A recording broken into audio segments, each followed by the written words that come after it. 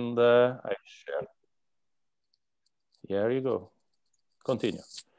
So, um, hi everybody. Um, I see people entering the room in the meanwhile. So hi, to, I believe I saw the name of Yvonne also. Uh, uh, well, first of all, thanks a lot for having me, uh, at least virtually there. You know, I would have rather been physically there and as I was saying, you know, getting out and have a beer with all of you after we are done. Um, but uh, th this is this is how we can do now. So um, yeah, the the this you know I really took seriously the lectures word in these preliminary lectures. So I'm going to talk about phenomenology of particle production during inflation, uh, and I will um, you know start from uh, a very pedagogical and very sketchy, in a sense, um, presentation, and then I will ramp up, going to a little bit more rigorous, and then I will review what I think are several important aspects of phenomenology of particle production and in general, you know, theory of particle production during inflation. Um, and um, well, let's see if I can go ahead. So this is the plan, as I said, generalities on particle creation. Um, then I will, I decided to follow what is roughly a historical development. So I will move immediately to cosmology and talk about particle creation at preheating. This is not strictly speaking part of the topic because preheating is not during inflation, but is at the end of inflation. Um, but it's useful to set things up. Um, then uh, I will talk about isolated events of particle creation during inflation. There was a first important interest in this, um, in this topic towards the end of the 90s and early 2000s. Then uh, many subsequent events of particle creation during inflation. This was about 2005. And then the 2010s where there was quite a bit of work on creation of vectors during axion inflation, uh, we heard uh, something quite a bit about axion inflation yesterday from Arthur's lectures. Um, and uh, so thanks to Arthur, because I will not have to you know, motivate that too much. And uh, in the last couple of years, and this is especially mostly from my point of view, um, we worked also on fermions during axion inflation, which I think is another part that has not been explored as much and I think is interesting. Um, so please, please, please interrupt. Uh, seems that it's superfluous since what, what I've seen in the last couple of days, but you know, please interrupt if you have any questions. And uh, as a disclaimer, you know, this is my point of view on this. I will, uh, I'm sure I will omit a lot of citations and, um, uh, you know, apologies to people that I'm not referring to from the beginning. Um, I tried my best, but I'm sure this would not work. Um, so let me start from the textual argument. Textual argument of why do we need quantum field theory? We need quantum field theory because um, special relativity tells us that we don't conserve number of particles. This is what happens in classical mechanics, but in special relativity, the only thing that is conserved is energy. On the other hand, uh, quantum mechanics you learn uh, as an undergraduate student uh, um, is based on conservation of particles. Actually, you have the wave function as a function of a particle. So you need to put those, if you try to put these two things together, you immediately get into a contradiction. And because of this, you have to move up. And the way to move up is to move to quantum field theory. In fields, on the other hand, the number of particles intended as, you know, whatever, waves is not conserved. They can have two waves that scatter and form four waves or something like this. So um, quantum field theory has a built-in property, the possibility of not conserving particle number. And uh, as I said, particle production is built in quantum field theory, and the standard applications are particle decays, for instance, or um, in you know scatterings. I don't know, I'm making this one up now. E plus E minus that goes to E plus E minus E plus E minus. I'm making this up again, but this is a possible process. The thing that is interesting, and that on the other hand is a little bit less standard, well, not for this audience probably, but in general, is that even initial states with that are non-trivial but correspond to zero momentum states, so states where the system is only time dependent, can read to particle creation, which is interesting by itself because you start from an initial system that is time, uh, as I said, an initial system that is only time dependent but space independent, and you end up with a system that is space, space dependent too. We have production of particles with a certain wavelengths, and uh, these particles are, well, they are in some particular state in which, um, you know, when they are generated, they are created in a pure momentum state, but in general, um, can be treated as inhomogeneities. So this allows to go from a homogeneous system to an inhomogeneous system. And uh, this is um, a non-trivial property. I, uh, you know, there is a super cartoonish description of how this happens, and this is the one I will give now turns out to be super cartoonish, but maybe just because of dimensional analysis, it turns out actually to work pretty fine. So the idea is that in quantum mechanics, going really, really to the basics, you know, in quantum mechanics, we cannot say anything about anything of definite. And in particular, we, we cannot even say that the vacuum is totally empty. So we can picture the quantum mechanical vacuum or the quantum field theoretical vacuum as um, being full of virtual pairs of particle antiparticle, for instance, that are created and annihilate. Um, and in the short time they exist, they violate Heisenberg relationships. So for physical particles, you want that the error in the momentum times the error in the position is larger than the Hubble, uh, than the Hubble parameter. Good morning. Then the Planck's constant, and same thing with the energy. But for these virtual particles, this is the opposite. Um, and we don't see those particles. And if we are just in empty Minkowski space, that's the end of the story. Um, however, if there is some external force, then these virtual particles can be considered as being pulled away from each other. For instance, let's consider the example of a positron and an electron uh, pair. And uh, suppose that there is some electric field pointing towards the right. Then if the electron is to the left and the positron is to the right, and this actually will matter a little bit, the positron is pushed more to the right, electron is pushed more to the left. In the short time in which these particles exist, they are accelerated. So their position is given by the electric field divided by their mass times delta time squared. And it turns out that this proper, these particles can become real if this quantity on the left-hand side satisfies now the Heisenberg relations, uh, the normal Heisenberg relations, if you want. So with an h bar, with a larger than h bar.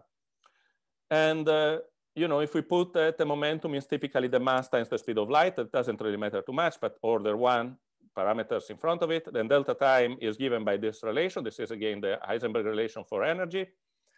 Then one just obtains that this mechanism is efficient as long as the mass squared of the particles is smaller than the char electric charge times electric field in appropriate you know, natural units.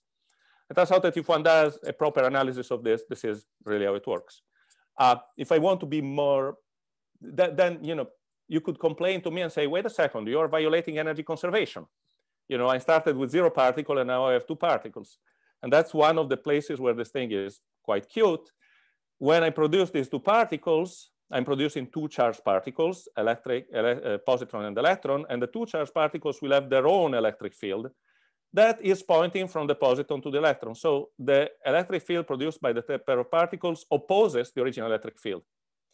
The difference in the two electric fields is, um, so this means that this created electric field reduces the external electric field between the two particles, and one can compute the change in energy density in that electric fields and miracle of miracles, it exactly corresponds to mc squared, actually 2 mc squared. So thankfully energy is conserved. Okay, going closer to um, our world, we can do the same thing in the case in which a universe is accelerating. Also in that case, virtual particles or any particles are subject to a relative acceleration that is given by the Hubble parameters times c. Let's assume that we are in an inflating universe, so the Hubble parameter is constant, then this is exactly the relative acceleration of the two particles. Um, in general, this would be some a dot dot times ac or something like this. Um, and so one can play exactly the same game as before. Now the distance between the two particles is hc delta t squared impose this condition, impose the same condition, and you get again the result that the mechanism is efficient for mc squared smaller than the Hubble parameter.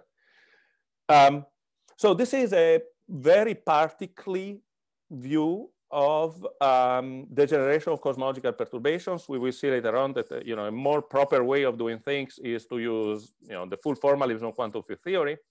It's a very particular point of view also because you see these particles tend to um, you know, eventually the, the wavelength of these particles quickly becomes super horizon. And if a wavelength of the particle is larger than the observable universe, then it, you know, it doesn't really make too much sense to talk about particles at all. You know, particles are things with a wavelength, definite wavelength with which I can build some wave packet in my room, or at least, you know, in a region of space that is much smaller than uh, the, the scale of curvature of space-time. Um, but still, it works. Okay, let me go to a less pictorial description um, because now we will give the get here the math that we need to go ahead. If I have just a the Fourier modes of a scalar phi with mass m, they satisfy this well-known equation, and then we can quantize in this well-known way. And the crucial point here is that when I quantize, I have these creation annihilation operators that are objects that annihilate quanta of phi with momentum k, or create them. Um, what if omega is a function of time? Well, there's, um, since I mentioned electric field and I mentioned uh, um, expansion of the universe, what happens for omega in the case of an electric field? It gets this expression. What happens if you are in an expanding universe? It gets this expression in general, um, where the scale factor explicitly depends on time. Uh, h and h dot might or, might or might not depend on time, depending on the universe I'm considering. But in general, I have some time-dependent frequency here. And so this way of quantizing things that I was showing here doesn't work, strictly speaking. However, we can still quantize working in the so-called limit of adiabaticity condition. As long as omega dot is much smaller than omega squared, this is the so-called adiabaticity condition, the solution to this equation with omega squared a function of time is approximately given still by the same expression we had before. e to the minus i was omega t, now becomes integral of omega in dt divided by square root of 2 omega. So we can still quantize our field. And we still have a unique definition of creation annihilation operator. Okay. Um, the problem is if this condition is not satisfied, and this is where interesting physics happen. If omega square uh, is smaller than omega dot, I don't have, I cannot define this positive energy and negative energy solutions in a unique way. Actually, no, I cannot define it at all and so wherever this condition is not satisfied, uh, the number operator that is generated, created as A dagger A is not well defined because I don't know what is A dagger because I don't know what multiplies the positive frequency and the negative frequency solutions in my mode decomposition because I don't know what is positive frequency, negative frequency. So for instance, and this means that particles can be created or even absorbed during this process. For instance, this is in the case of you know, the evolution of omega dot over omega squared in the presence of some electric field uh, with some, for some mass. And you see that at some point it becomes larger than one. In this region here, this period of time, the number of particles is not well defined. Great. So what we have, however, is what we consider in general to be the case, and this will be the setting we will be considering for the first half, at least, of this presentation, uh, is a regime where you have an initial time, we have some intermediate time t naught, and in an initial time t much smaller than t naught, and the later time t much larger than t naught, the adiabaticity condition is defined. but is not satisfied in between. So going back to the plot I had before, this means that in particular, we can impose that our mode functions at early times are given by just these positive frequency solutions. In the middle, they're given by some expression that we cannot, uh, you know, I cannot tell you un unless I know what is the, the evolution of omega as a function of time.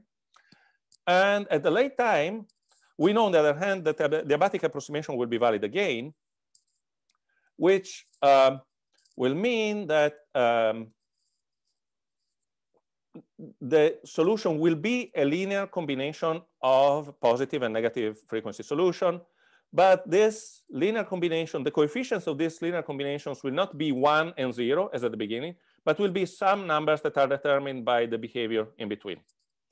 There is actually some nice way of analytically continuing from this solution to this solution in the complex plane. I'm not going to go there. But you can actually compute alpha and beta just moving from here through the complex plane to here without even knowing exactly what's going on here, which is cute. Um, okay, these coefficients alpha and beta are known as the Bogoliubov coefficients. And as we will see, they decide uh, what how things work and what, you know, how many particles we produced in the meanwhile. So let's go back at early times before T naught uh, my wave, my field was decomposed this way. At later times, I said that this function e to the minus i omega t becomes some linear combination alpha e to the minus i omega t plus beta e to the i omega t. And this one will be just be its complex conjugate. I can rearrange this solution in this new way where I have, again, only positive frequencies here and only negative frequencies here. And I can declare that this object here is a new annihilation operator. And this object here is a new creation operator. In a sense, the idea is like, imagine you are a, an observer that was born well after the period of non-adiabaticity, and you want to quantize your field.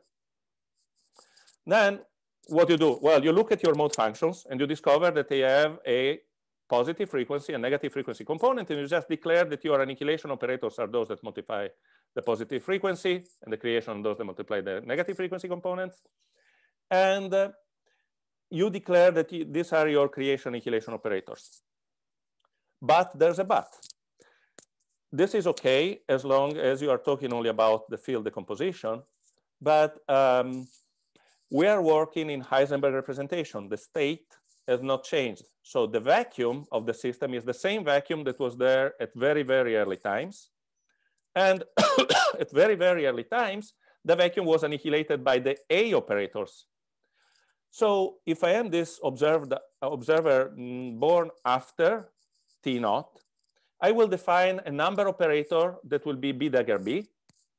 But the state of the vacuum, sorry, is the state um, that I had at early times.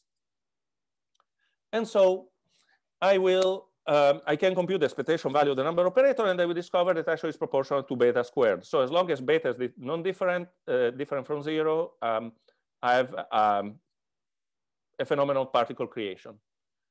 Um, notice one thing from the point of view of the procedure. Um, there's a, there's a, we are really doing some sort of renormalization.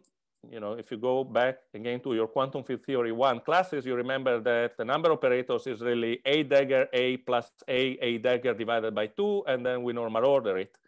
There's an interesting prescription here because we are normal ordering the new creation annihilation operators.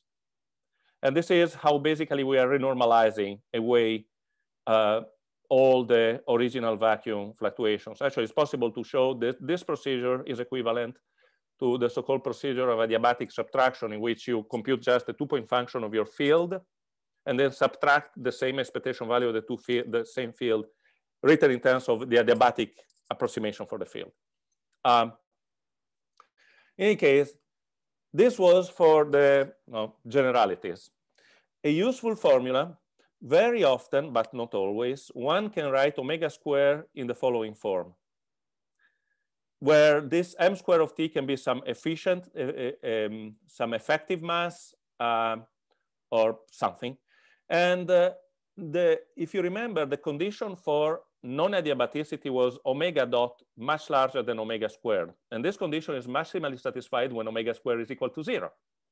So if m square of t crosses zero, then I, that's the time where I can have a particle production, okay? So one can actually determine more or less precisely a time where the particle production happens and is when this parameter n squared crosses zero, and one can compute the number of particles well after t naught, and turns out to be given by this expression, e to the minus pi k squared divided by m dot. By the way, for those of you that you know are familiar with Schwinger effect, the term is for Schwinger effect is e to the minus pi m squared divided by EE. And if you use the formula I gave you before, this, you know, in the case of Schwinger effect, this k squared is really the mass of the particle and m dot is really the charge of, uh, is really the electric field. So everything matches nicely, including the pi's, etc. Um, just going back one last thing, because it might be interesting later on. Um, if I really look, you know, at time t naught, omega dot over omega is actually strictly zero this really tells us that the particle production occurs in some amount of time. And the amount of time is really the time in which this non-adiabaticity condition is imposed. Um, so it's not instant, and this will impose constraints on what I'm telling later on. The phenomenon takes some time, and usually in order to understand this phenomenon, we better you know, impose that this time scale is sufficiently short in order in, um, in terms of other time scales. Um, okay, I'm ready to go ahead and talk about cosmology. Any questions on this super pedagogical, well, I don't know if it was super pedagogical, but, you know, super introductory part. Sorry, may yes. I ask a question? I simply forgot this stuff. Uh, the, the commutation relations of Bs are still the same, right?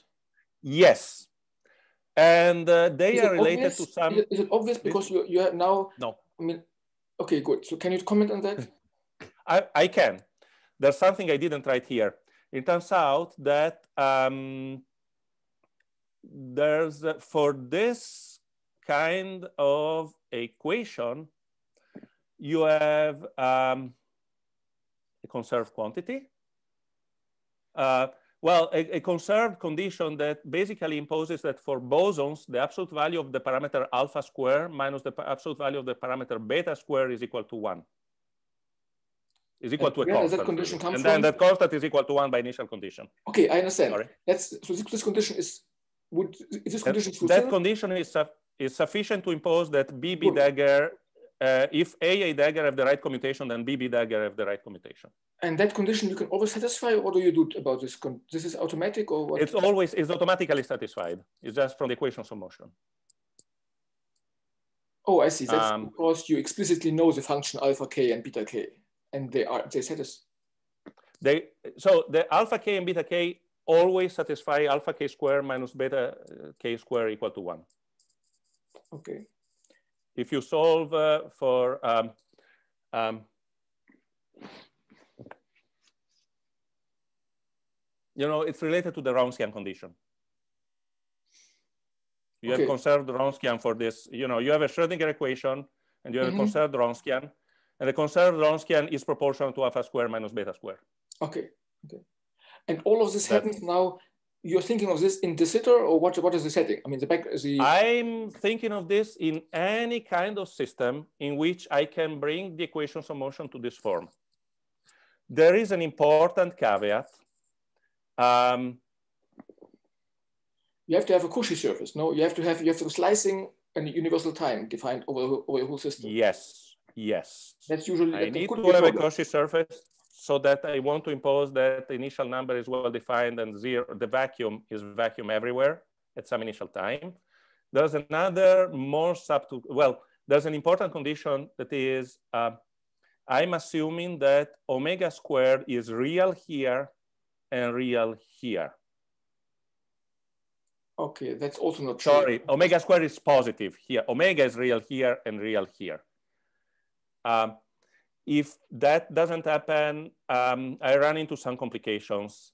Um, but if that doesn't happen, my definition of particle is kind of fishy. You know, what's a particle? so, sorry, we, we, are, are, we going to talk about about uh, perturbations in cosmology in, in, in, during inflation? Then it, it's not yes. true outside the horizon, right? They are absolutely, absolutely. Um, that goes into some really subtle matters that you know I can talk about, uh, and uh, mm, things can get really complicated in that case. So for for cosmological perturbations, what we usually do is just forget about Bogoliubov coefficients, forget about renormalization and everything. Right. Uh, and uh, and we just solve classically the equation of motion, and uh, we just you know we say well the the effects we observe are really at large scales, and the large scales we really you know this this phenomenon this process is in particular useful for for renormalization as I was saying before. You know normal ordering is useful to renormalize. Um, and usually people say, you know, we just, you know, pray the good God that, you know, something good happens in the UV, but we don't care because the only things we observe are really at large scales. So usually we solve during inflation, we solve for the classical solution, and we just hope that nothing bad happens uh, at large scales because of, you know, renormalization of other more rigorous way of doing things. There is a paper by Parker from the mid 2000s where he tries to apply adiabatic subtraction to this generation of uh, large scale perturbations. He applies all the textbook rules and he gets a result that doesn't make too much sense. That is, uh, um, turns out that the renormalization actually can affect modes that are well outside of the horizon. Mm -hmm not exponentially large, I mean, not necessarily all the way to, to the large horizon, but it can affect. And my, I, I've actually work in progress on this because my feeling is that the, there, there's things that still need to be understood there. Okay. Um, I will talk about perturbations later. Uh, but for, for the purpose, in particular, the first half of this talk, um, uh, what I'm telling here is all well understood. We are talking about real frequencies. We're going to talk about wavelengths that are much shorter than the horizon. We're really talking about stuff that could happen even in Minkowski space. Okay. Uh, is it a problem that you are restricted to to the static patch probably? Or how, which coordinates are you using on de Sitter? Or are you using global coordinates? What would I I'm, I'm uh, no, I'm using not global coordinates. There can be a problem with the choice of coordinates, absolutely but uh, again, for the first half of my talk, I will be just be worried about, so wait, let me ask a question. Are you thinking about particle creation or about the generation of perturbations? I'm trying to for particle, what you will be, what you will, so I'm, I'm happy to think about either, but I don't yet know where you are going. So for particle creation, I will discuss processes that happen well inside the horizon then I can think Minkowski In that case, I don't care whether I am static patch or anything else. I see. So I can think about quantum um, theory uh, and changing background field, basically. Good. Then exactly. I'm happy. Then I'm happy. Okay, good. Absolutely. For the second case, we anyway have a problem because of the. Exactly. Okay, good. Thank you. You're welcome. Now, thanks for asking because actually this will become might become relevant later on. Actually, will become relevant. I, I will go back to it. So uh, I was saying, um,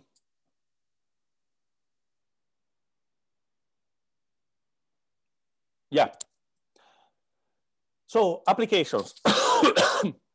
the first cosmological, oops, the first cosmological application my, for, of this stuff I'm aware of is in a paper by Dolgov and Kirilova that study this model where you have some scalar field phi. They don't talk about it as the inflaton unless you go until you go to the very last chapter. And they just say, I have a scalar field chi, and uh, I have this field phi whose vacuum expectation value is evolving for any reason. So again, it could be very well in Minkowski. These two terms together give some effective mass. So this, when this effective mass is a minimum, I have a phenomenal particle production. And then in the last chapter of their paper, uh, they uh, in particular say, well, this could be during reheating. At the end of inflation, so I have some inflationary potential, and at the end of the inflation, the inflaton crosses the origin and starts oscillating about the origin. When it crosses the origin, this quantity here is a minimum. Since this quantity is a minimum, I can have non-perturbative particle production. So I could have production of quanta of chi. And then there are these two other papers that did this in more detail. And in particular, I'm um, sorry, I am uh, here giving you a picture from uh, Linde, Kofman, and Starobinsky. This is from 97. Um, what they observe is that you have, at the end of inflation, you have many oscillations. And every time the inflaton crosses the minimum of this potential, you have a phenomenal particle production. If these particles are bosons, you can have actually an enhancement of the production because of Bose statistics. So this is, log, notice this is the log of the occupation number. And um, you see that you have all these steps here. This means each step is one event of particle production. The inflaton oscillates once around the bottom of its potential, and boom, it goes up and then goes up. And it goes on average exponentially up. There are some moments where it doesn't go up in the case in which you have destructive interference. You are producing new waves that are interfering destructively with the existing ones, and the occupation number can go down, but statistically this will happen less, less often than going up. And at some point, you remember that, uh, um, where am I? Here, so the number of particles produced goes one over m dot. m dot is proportional to phi dot. At some point, phi dot just becomes too small and you're not producing particles anymore because the amplitude of the inflaton oscillations are decreasing. And uh, the process plateaus. But you see, in this uh, simple example, I get an occupation number that is e to the 40. It's pretty large. Um, so the, this was the first important observations that was made. Um, the time scale in which this happens is 10, 20, 30 inflaton oscillations. Usually reheating, that is the perturbative decay of the inflaton occurs in 10 to 8, 10 to 10 inflaton oscillations. So this phenomenon happens much more quickly, is much more violent than the usual perturbative decay of, let's say, one quantum of the inflaton into two fermions or whatever. Um, and this is why this process was called preheating, because it happens before reheating, and in a sense is the preparation to reheating. Um, there's a second very important thing to notice. And by the way, this is, uh, you can do the same thing with fermions also. Um, with fermions is even better because the mass, well, we'll talk about fermions later. Um, uh, the, the other thing that is important is that, let me go back again to this formula. Oops. Here there is a large production of particles as long as their energy is smaller than m dot, as long as their momentum is m dot.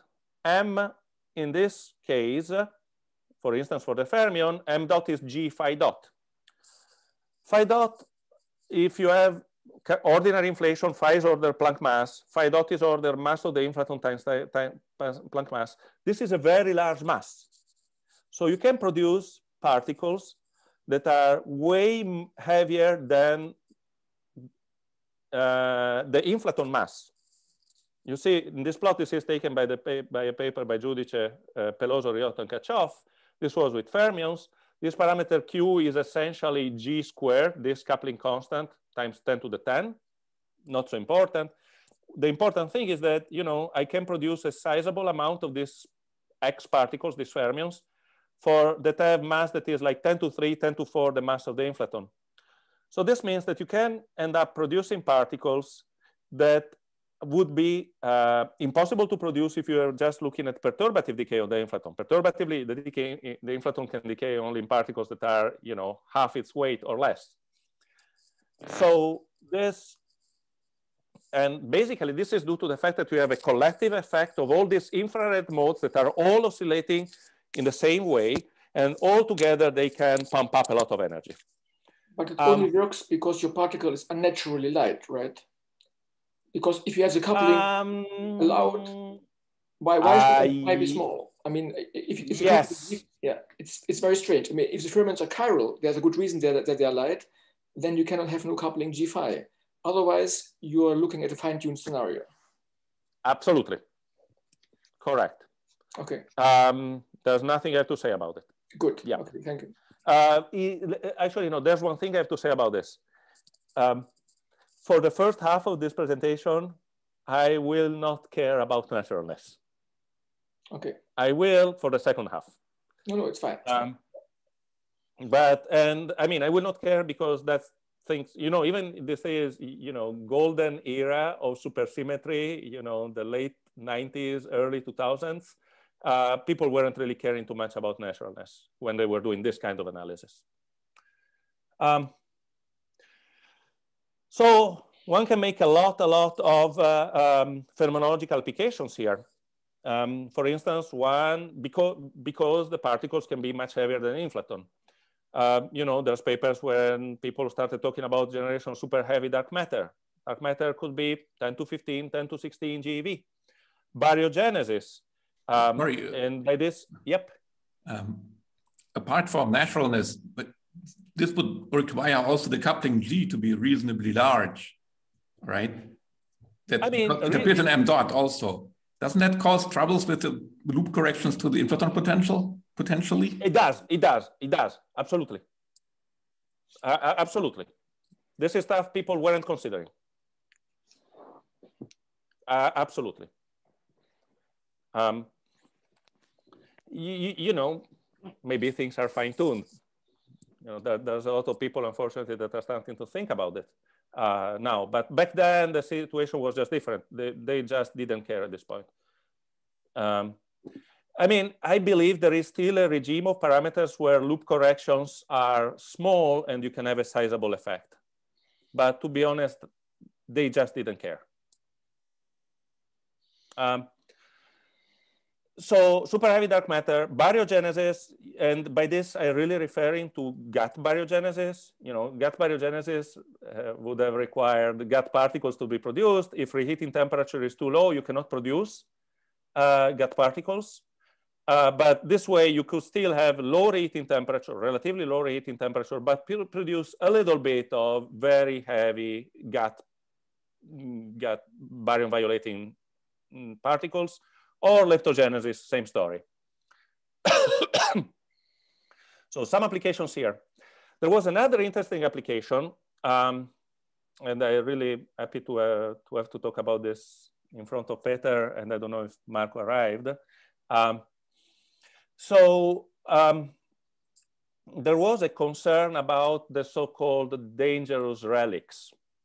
So what are dangerous relics?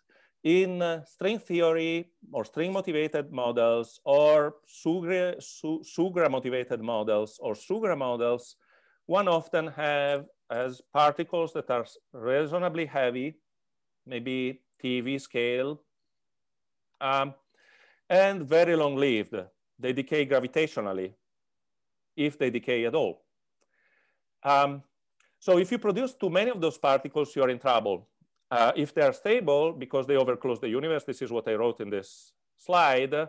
So that means that since you have all these non-relativistic particles around, the universe becomes matter dominated before it actually became matter dominated.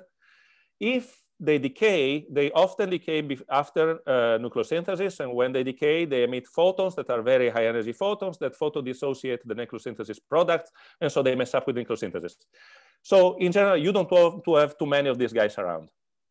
And there was a concern that, uh, you know, these particles are ubiquitous in these models and one uh, can have a worry that you are producing too many of those and maybe there are constraints or even ruled out things. And the, the, the result, and this is work uh, by Peter and Marco and myself, you know, I was a grad student there and great memories of this, sorry, but I have to talk about it. Uh, so the, the conclusion was that this is extremely, extremely model dependent. Um, so there was in particular a statement about supergravity models. That is the, the strong, you know, the, I would say the sharpest statement you can make because, you know, n equal four, uh, sorry, n equal one, d equal four, supergravity is a sufficiently well-constrained theory. And the concern was basically the following. Uh, if you have inflation, the inflaton breaks supersymmetry. The expectation value of the inflaton breaks supersymmetry. And the break, supersymmetry breaking is associated to generation of a mass for the gravitino. So and at very high energies, the, the, the, the longitudinal component of the gravitino is the Goldstino, and the Goldstino in this case is the superpartner of the supersymmetry breaking object, that is the inflaton. So the gravitino is essentially the inflatino. If the inflaton is oscillating, and the inflaton has some supersymmetric coupling to itself, some coupling to itself that in general you expect to have, you expect to have a large production of inflatinos, but these inflatinos are gravitinos. And you would say, well, you're producing a lot of gravitinos. And again, these gravitinos really fall into this uh, category of um, uh, dangerous relics. As I say, this is the, you know, when you try to go into the string theory construction, things get way more model dependent. Your moduli, you don't know where they are, you don't know where they come from. This is a very constrained setup. But what we could show uh, was that even in that very constrained setup, um, the gravitino production doesn't depend only on the inflaton dynamics, but it depends also on what is the gravitino today, because during inflation, the gravitino was mostly inflatino, but today the gravitino is the superpartner or whoever is breaking supersymmetry now. It is not necessarily the inflaton. So there's an extra degree of, um, of um, arbitrariness there, given by the fact that uh, the amount of gravitino produced doesn't depend only on the model of inflation, but it depends on, also on the pattern of supersymmetry breaking in vacuum, and also on how the inflaton couples to the fields that are breaking SUSY in vacuum now. So things are extremely model dependent, doesn't mean that this never happens, but it's not compulsory. Which brings me actually to the next part. Sorry, is, there, is, there, yes. is there a simple way? Is there a simple way to parametrically understand when preheating happens and when not? I mean, in terms of coupling. So if I have, for an outsider, is there can I have a, some rule telling me when the conditions will be such that I just decay and when there will be preheating? Yes. Uh, if you have, you can parameterize your mass as some m dot m of t. You can write some effective mass m of t you can find the minimum of that mass. You can compute, so the value of t at which that mass is minimum, you can compute the derivative of the mass, m dot at the time, and you compare it with the Hubble parameter. If that ratio is much larger than the Hubble parameter squared, then preheating is occurring. M dot That's the simplest parametric M, way of doing it. M dot larger than h squared. M dot larger than m squared.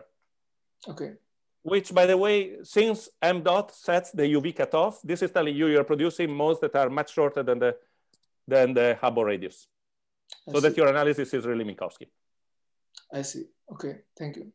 Uh, Peter? Could, could, could I ask a question? Uh, because I've seen recently some pa papers uh, about the gravitino landscape uh, conjectures and so on. Is, is that related? Is that related to these questions? I don't know.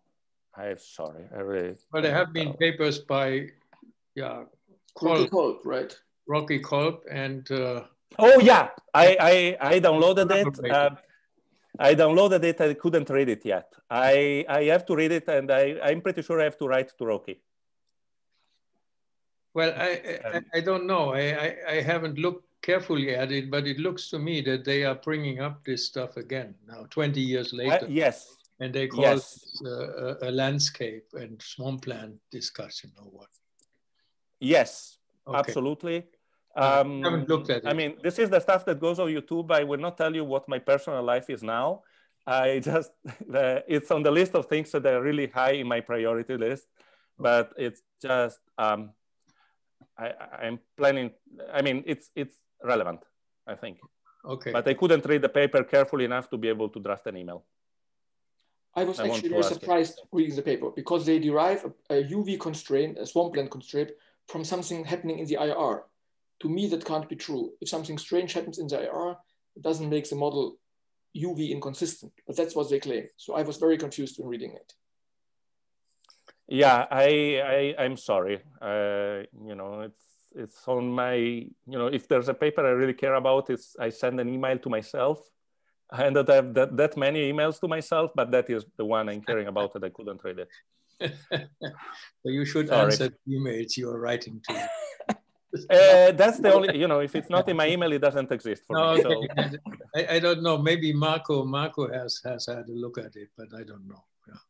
I I it's definitely no, very high in my list of priorities. We could discuss that. Good. Thank you. Yeah. No, no. Well, sorry that I couldn't answer this. Um, okay. Um,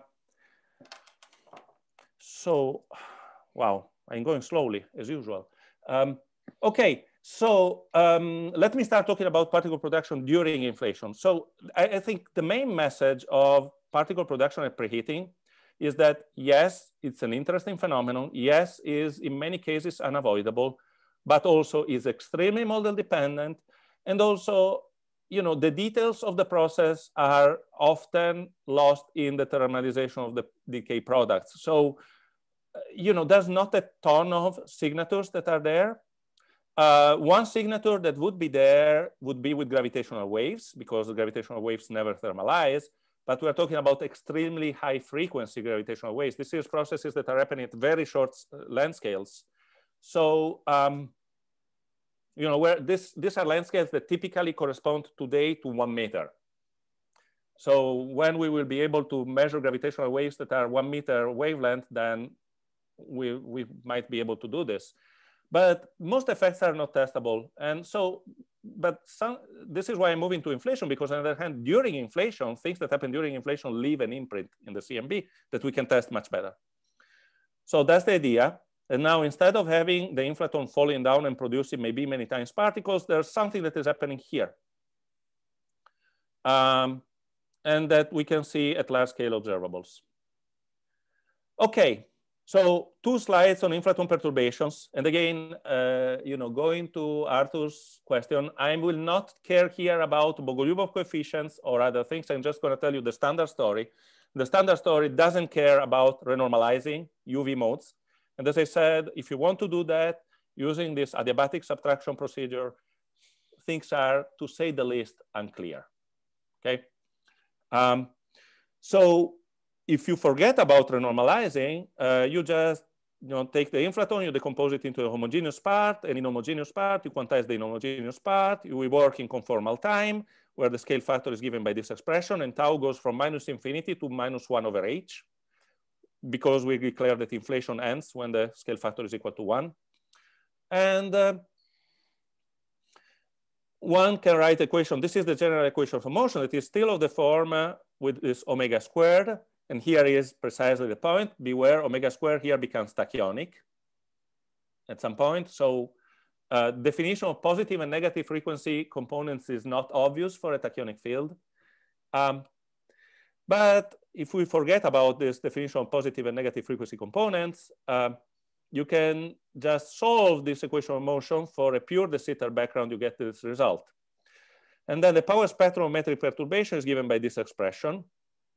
And for late times, so tau goes to zero, if you want for k tau goes to zero. So for k and the end of inflation tau is said is one over h minus one over h. So for k over h goes to zero, large scales, this term here dominates over this one.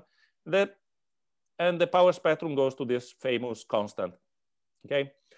Notice on the other hand that if I were to consider scales that are well inside the horizon, I would have k cube, and in this case, this term would be negligible. I would have just one over k for delta phi squared. So this thing would go as k squared.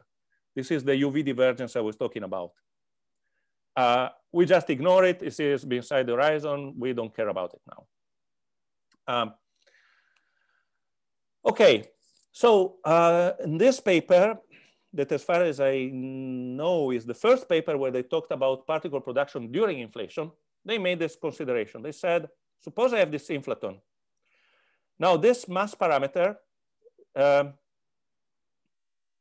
this thing here, if it crosses zero, this is for a fermion, if this thing here crosses zero during inflation, I will have an explosive production of particles chi.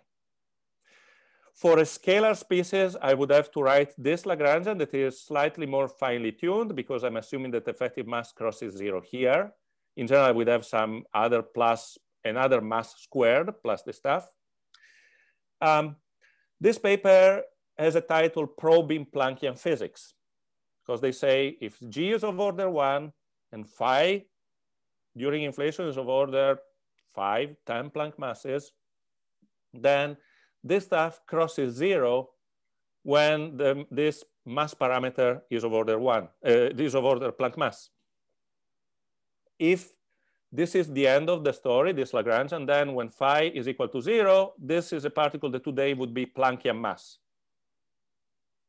Notice that, however, during inflation, this particle is light or relatively light in the time where we are studying it. So the effective theory might make sense. Modulo, of course, as usual, these questions of loop corrections. So this thing crosses uh, m over g during inflation. And uh, so I'm producing a lot of these chi particles during inflation. The question is, what do I see? You know, I'm having a production of inhomogeneous mode during inflation that can leave a signature on, in particular, the metric perturbations that are leaving the horizon at that point. So there are four kinds of effects one can think of. First effect, I'm producing a lot of particles. These particles have an energy, and they will leave an imprint in the CMB. Well, the chi particles themselves don't matter a lot because if I go back here, you'll see that this stuff crosses zero. But then if phi keeps rolling, this stuff becomes large again. So these particles very quickly become very heavy. As they become very heavy, they redshift away, their energy redshift away, so they leave no imprint in the CMB or anything like that. The phenomenon that was studied in this paper was actually the fact that since the particles are produced, they have to take energy from somewhere. Where the only possible energy available is from the zero mode of the inflaton that is rolling, you know. So it's basically from phi dot squared. That's the only part of energy in the inflaton that is available. So since I'm producing particles, phi dot gets smaller, slows down. Since the power spectrum is proportional to one over phi dot squared, I will have a feature in the power spectrum because of uh, this change in phi dot. Um, these are plots from their um, paper. This is the original power spectrum in their model. And you see, well, there is a little slope because this is m square phi square. So the power spectrum is not exactly scale invariant, but almost. And then at some point you have particle production and this corresponds to a dip in phi dot. But phi dot is in the denominator, so it corresponds to a peak in the power spectrum. And then in the CMB, this would give something like this, depending on uh, where this thing is happening. Notice this is a paper from 99, well before WMAP, well before Planck. Um, so, you know, back then it was conceivable that you could have a bump this large. Now we cannot. Also notice, however, that they are assuming that they have 100 fermion species because they want to crank up the, crank up the effect. Um, so this means that you could have signatures in the CMB. Um, also, um, there were subsequent works focusing mostly on the scalar theory that I showed, but with the same philosophy. You could have two other phenomena. You could have a phenomenon of backscattering, that is one quantum of chi scatter off the zero mode of the inflaton and knocks out one quantum of inflaton. So this is the first phenomenon. Although so you could have two quanta of chi annihilated into two quanta of inflaton. Um, and it turns out that um, the, this effect for a scalar theory, this effect is the dominant one and gives a correction to the power spectrum that is given by this expression. And I didn't plot things, but this is, you know, some function of the momentum that gives some oscillating effect. This effect is actually much larger than the one that was represented uh, here is parametrically larger. Notice that we factored out this term g phi dot divided by h squared. That's exactly the non-adiabaticity parameter Arthur was asking about. You know, the stuff that has to be much larger than one, g phi dot divided by h squared here. Um, and so this gives a feature in the power spectrum. Now, if I take and people have been looking for those features. And uh, you know, I'm taking a quote from the Planck 2015 inflation paper that says, blah, blah, blah. They do a complete analysis. They find some mild evidence. Um, but it's so mild that they say that the simplicity of the power law spectrum continues to give it an edge over more complicated initial spectra. And the most plausible explanation for the apparent feature in the data remains that we are just observing fluctuations due to cosmic variance.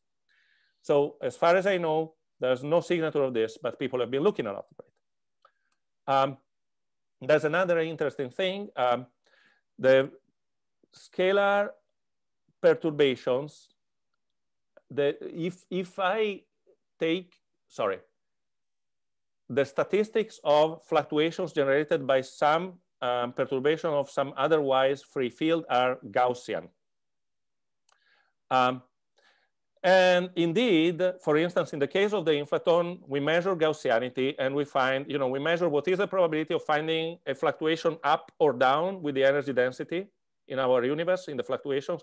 And we find the Gaussian distribution that is Gaussian to one part in about 10 to 4, depending on how you measure it. Um, but however, the effects we are considering like scattering processes are generally non-Gaussian. For instance, I'm, the, I'm producing two quanta of chi. These two quanta of chi, each of them follows a Gaussian distribution, but then if the two quanta of chi scatter and produce one or two, one quantum of uh, phi, that quantum of phi obeys a non-Gaussian statistics. So in general, these models predict that the features in the power spectrum are non-Gaussian, but this is extremely poor, poorly cons uh, constrained one important thing uh, we heard about um, non-Gaussianities uh, on Monday in particular.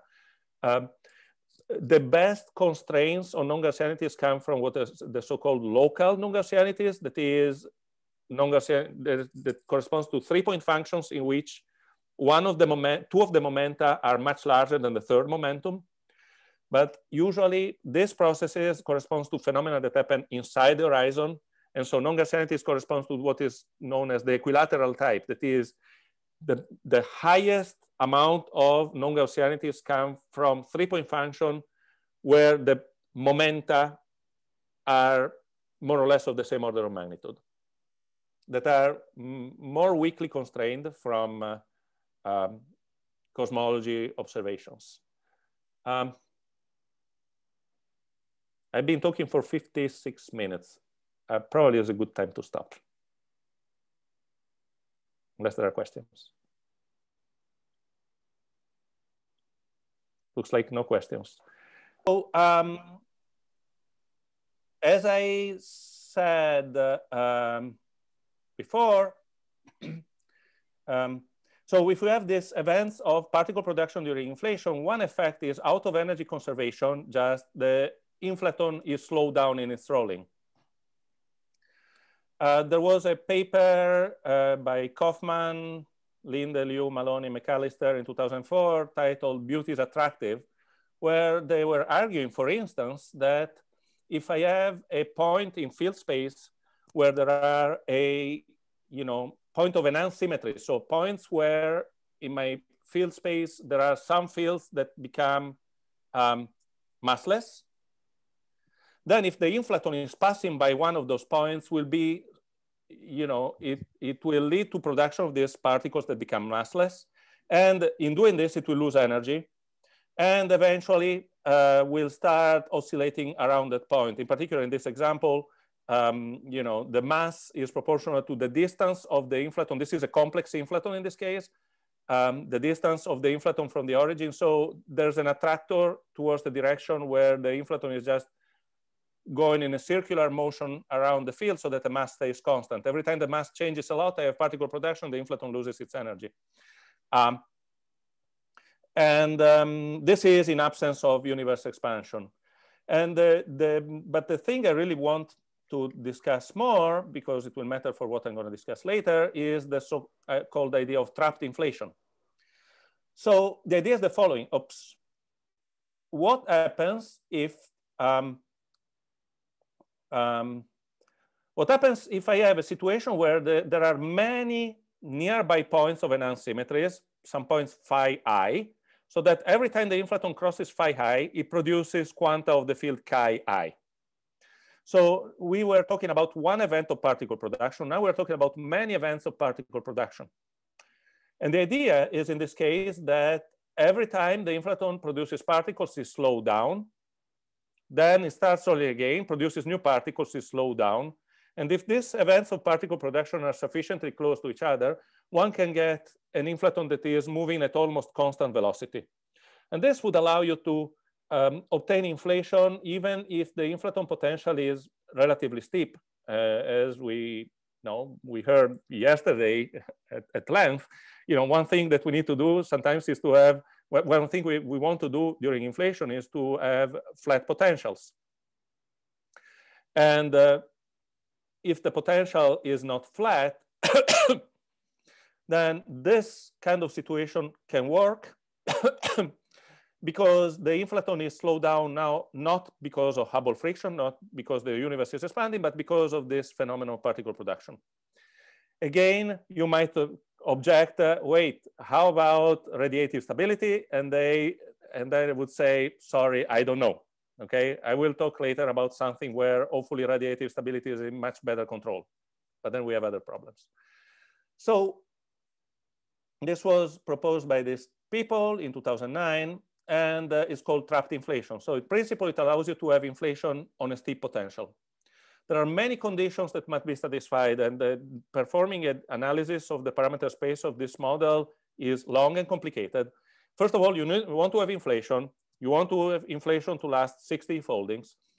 You also want to be in a regime where you don't need, you don't have ordinary slow roll inflation. Otherwise, you don't need trapped inflation. You just have slow roll inflation and you're happy uh, we have this condition of quick particle production that uh, we were mentioning before, G phi dot much smaller than, uh, much larger than H square. Also, the decay products must not annihilate too quickly. This doesn't mean that otherwise inflation doesn't happen, but we don't trust the calculation for perturbations if they do. And uh, we want many productions per e-folding. Otherwise, our inflaton will go down by steps and uh, by do, going down by steps, we would have you know, a power spectrum that would be irregular. So, and, and this is only to impose that this thing is working. Then we have to make sure that actually the data, the, you know, the predicted number match the, the observed data. So um, well, Marco is here now. So Lauren Pearce and Marco and myself, we did a more detailed analysis of the analysis they had before. I will tell you later why we wanted to do it.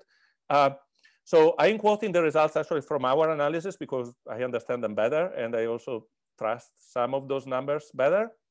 Um, but the qualitative result is more or less the same. So this is an expression for the power spectrum. As you see, the power spectrum has no know, the expression for the power spectrum is completely different from the one you had for ordinary inflation.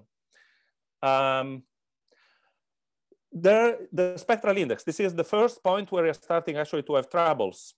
Um, if we assume a monomial potential for the inflaton, it turns out that the spectral index in general will depend to this parameter delta that we have to impose. If delta is equal to zero, the spectral index doesn't match observations. This is always too close to one. So in order to have it match observations, we must say that the delta, I didn't tell you what it was, but I showed it in the picture. Delta is the distance between two near by moments of particle production. So the distance between two, no, phi, phi one and phi two or phi two and phi three. Delta cannot be constant. It has to go at uh, some power of the field. And turns out that this power must be minus three or minus five, more or less, to match observation. So this is a complication in the construction. This is a expression for non-Gaussianities. As I mentioned before, non-Gaussianities are equilateral, and uh, this actually strongly limits the parameter space. The amplitude of tensor modes is unchanged, and we don't care. Actually, just we don't see gravitational waves here, which is consistent with the fact that we're actually not observing gravitational waves from inflation. Uh, so this is the parameter space from their paper. When we did our paper, the parameter space changed a little bit its shape, but the main message was the same. So you see all these lines. These are all the constraints you are imposing just to be able to do the analysis. And there are the main constraints that are the following. This red line here just is imposing that you actually have inflation. And so you have to be below this line. You have to be above this blue line to satisfy the non-Gaussianity condition. Um, sorry, that you have inflation. This line here is to have slow roll inflation even because due to trapping and not due to the fact that the potential is flat. This dashed line that is basically identical to the blue line is corresponds to the regime where the inflaton is larger than Planck mass. Now, the main motivation for this model, I was saying, was to get a flat potential, to obtain inflation with a flat potential. If the field phi is larger than the Planck mass, the potential is already flattish by itself. So, and also, you know, we heard a lot about swampland. You know, fields larger than Planck mass are not very popular in the swampland. Uh, those are the fields that are really constrained by the swampland. So the region in which you would be compatible with swampland and observations would be this teeny tiny line between the dashed line and the purple line that you see is negligibly small. So there's really not a lot of space left for this model. Still, it's an important reference point for the physics behind it. Okay. This is also a microscopic realization of something that was um, no, introduced many years before, the idea of warm inflation. The idea of warm inflation was that the inflaton is in interaction with a thermal bath. Um, but the description of warm inflation was always really um, neglecting all the microphysics. There was just an assumption that the inflaton would dissipate some energy into a thermal bath and would be in thermal equilibrium with the thermal bath. But the microphysics, again, was unclear, which was leaving, leading to a lot of model dependence. This model of trapped inflation represents, in a sense, a microscopic realization of warm inflation. The extra ingredient, of course, in warm inflation is that you have a thermal bath, while the stuff I was discussing now is not thermalized but you can assume that it's thermalized, uh, that it thermalizes. Um, still, constraints are strong. Okay, now I'm gonna move on. this is really part two. So up to now, I really talked about masses of particles changing over time um, there's a very strong motivation uh, to have an inflaton is a pseudoscalar and is shift symmetric axions. Um, and uh, as we heard yesterday, there's uh, many um, proposals to realize, even in UV complete theories, models where the inflaton is an axion-like degree of freedom. Um, and uh, what I'm going to focus on is a natural coupling of the inflaton phi, that is a pseudoscalar shift symmetric to gauge fields. And I'm going to focus on the U1 gauge field case. Um, so I'm going to parameterize this coupling here. Oh, I have already an inconsistency in my slide, sorry, as alpha over f. Of course, I, you know, since alpha and f appear only once in this formula, I could have just called this one over f, but I will call it, I will still use it alpha over f for later convenience. Um, so the idea is the following. if I have a electromagnetic field with a coupling to the inflaton here, um, if the inflaton phi is a constant, uh, then this term here is a total derivative. It doesn't contribute to the equations of motion. But the inflaton is not a constant. And so when I write equations of motion for the helicity lambda modes of the photon, so I decompose the photon, uh, the gauge field, uh, in uh, I, I, go to a Coulomb gauge and I decompose it into left-handed and right-handed components. And I get this equation where there should be an alpha here in front of this. So as you see, this is phi prime. This is the conformal time derivative of the inflaton. And what I discover is that this object here has this term here that it contains a lambda. Lambda is the sign of the elicity. So depending on the sign of phi dot, one of the two elicities actually crosses for sufficiently small momenta, crosses zero and becomes tachyonic, which means that I can have an exponential amplification of the mode functions of one of the gauge fields. Um, in the light of the discussion we had before, um, you know, I'm still going to talk this particle production, even if it is really a field amplification, because again, we are not talking about uh, we are not talking about modes that are, you know, with real frequencies that are in the regime we are interested in, they are imaginary frequencies. But one can perform a, an analysis of this. And as I said, you know, for lambda negative, the mass term here becomes negative. It is large for about one Hubble time. Then, you know, this is a phi prime, so derivative with respect to conformal time, which really means that this goes as one over the scale factor. And you know, as the time goes on, this term becomes um, less relevant. Um, and um, this leads, turns out to lead the exponential amplification of only the left-handed or only the right-handed modes of the photon. Um, which mode is amplified depends on the sign of phi dot, okay? Um, I will call it left-handed for, for definiteness. Uh, this is a sign of parity violation. Since the inflaton is parity odd, turns out that it generates only modes of a given chirality of the photon, which is also parity odd. Um, and you, you see it's exponential, and it's exponential in phi dot divided by RFH. This quantity here, you know, as we heard yesterday, F better be smaller than Planck mass. Phi dot, if the inflaton is taking Planckian values, phi dot goes more or less as a slow roll times square root of slow roll parameter that is you know, typically of order 0.1 times h times Planck mass. So the stuff goes as something like 0.1 Planck mass divided by F. Since F is smaller than Planck mass, this number is naturally large. And since it is an exponential, it's very large. So this leads to a host of possible observable effects. And you know, we had a lot of fun, uh, we meaning a lot of people had a lot of fun looking at all these possible things. So one first obvious thing one would think of is, you know, this is a gauge field. Maybe this is actually the U1 hypercharge of a standard model. And uh, maybe this can lead to generation of cosmological magnetic fields. These fields are observed at large cosmological scales up to megaparsec scales. We don't know where they come from. Turns out that in this simple model, the power spectrum of these gauge fields is very blue. It goes as k squared, which leads to a weak field at large scales. And this is despite some magneto, magnetohydrodynamics phenomenon known as inverse cascade that is occurring for gauge fields that have a definite helicity, and these ones have a definite helicity, and that has the effect of raising power at large scales, actually. But doesn't raise it enough. So as it is, it doesn't work. Uh, we worked out some correction, but I'm not, some possible modification to the model, but I'm not gonna discuss those. Um, uh, another possible effect um,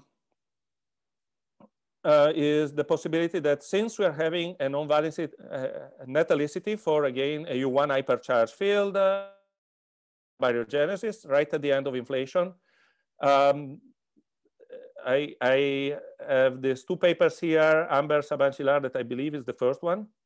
Um, um, there's a detailed work uh, by Valerie and collaborators. And basically the result is that you easily get a lot of baryogenesis. Actually, you know, typically you get even too much of it. Um, I will not go ahead in this direction too, but that's another possibility. One thing I like to focus on is the possibility of uh, chiral gravitational waves. Basically, our universe in this scenario we are having a rolling inflaton that is producing gauge fields. The gauge fields are diluted away at the same pace at which they are produced. So I have a steady population of gauge fields. And the delay uh, regime of validity we are considering, we are neglecting possibility that these gauge fields, for instance, interact with each other significantly. And uh, if these gauge fields, however, you know, this population of gauge fields is an additional source of gravitational waves. And these gravitational waves will be preferentially chiral. Why? Because if I have two quanta of my gauge fields that are left-handed and they fuse to create one gravitational wave, especially in the regime in which these two quanta are almost collinear, then the gravitational wave is also going to be left-handed because of angular momentum conservation. Um, so one can compute the amplitude of the gravitational waves in this model and let me show. So in this case, you have a power spectrum for the left-handed gravitational waves and the power spectrum for the right-handed gravitational wave. And each of these guys has two terms. A first term that is the standard one, the one here. This is what you would get in any case. Gravitational waves are amplified uh, from the vacuum exactly the same way as the inflaton fluctuations are amplified from the vacuum. And these are, this is the amplitude of gravitational waves produced by photon-photon scattering. So uh, let me spend two minutes on this. This parameter psi is this measure alpha phi dot divided by 2fh, as I said, is larger than one or so. Uh, if it's not larger than one, these expressions, of course, don't work because you see this blows up for psi goes to zero, and clearly this is not a regime of validity of this approximation. Uh, but the important thing is that this is exponentially large here. The other thing is that parity violation is given by the fact that these two coefficients are different from each other. And I always like to use this you know, uh, for students as a cautionary remark. This 10 to minus 7 and 10 to minus 9 are not results of any parameters. These are numbers, numbers that you obtain with putting, you know, twos and pi's, etc. So I always like to stress that, you know, putting two pi equal to one sometimes can give you big trouble. You know, because the fact that this number is 10 to minus six actually matters. Um, so you can have a population of chiral gravitational waves that then can lead to interesting signatures that I will not discuss now, but I will discuss soon. Because before discussing this, I have to discuss a paper by uh, Neil Barnaby and Marco um, that focused on uh, the effect that the same photons would have had on the scalar power spectrum. So as you remember, I said that when you have uh, particle production, um, I mean, you have um, two particles producing, let's say, a quantum of the inflaton, and this quantum of the inflaton being stressed by inflation and becoming basically one cosmological perturbation, that statistics is non-Gaussian because it's basically the square of a Gaussian statistics. Um, so what uh, Neil and Marco did was to compute the FNL parameter that measures the non-Gaussianity in the equilateral limit, and also to compute the corrections to the scalar power spectrum. And um, here on the horizontal axis, I have this F divided by alpha in units of Planck mass, okay? And on the vertical axis, here I'm plotting the tensor to scalar ratio, and here I'm plotting the parameter FNL. So if F is sufficiently large, which corresponds to a weak coupling of the gauge field, nothing happens. In this region, the tensor to scalar ratio is the one you're having for ordinary inflation. This is with monomial inflation, phi to the one or phi to the two. Uh, but then as f gets smaller, at some point here, you're starting contributing to the scalar perturbations and to the tensor perturbations. Turns out that actually the contribution to the scalar perturbations is larger than one to the tensor perturbations. And uh, this is effectively lowering the tensor to scalar ratio. So at large f, actually, the tensor to scalar ratio becomes smaller, which would be okay. Actually, you know, would be better in a sense because we are not observing gravitational waves. But on the other hand, it increases also this FNL parameter. And uh, you know, when you get to saturation, when you get to the point where these effects are interesting, then uh, the um, then FNL is about 8,000, if I remember correctly, that is uh, ruled out by observations by a long stretch. So this model, as it is, is ruled out. Uh, can we do something useful with it? Well, yes. So there's a, a first consideration that you can do is that is the following. The constraints on non-Gaussianities come only from uh, um, CMB scales. But this, this process could be going on also at later scales. It uh, is in general going on also for the whole duration of inflation. So let's go look back at the expression for this, uh, for the power spectra. And you see, as I noticed before, this goes as e to the 4 pi psi. So and psi is proportional to phi dot over h.